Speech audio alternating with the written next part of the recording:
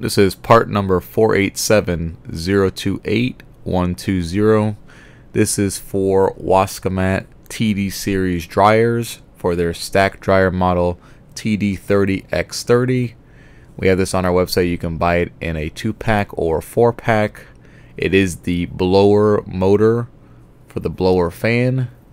This is a common motor that does go bad on this machine, more so than the drive motor. Again, that is part number 487028120. Here is a close close up of it.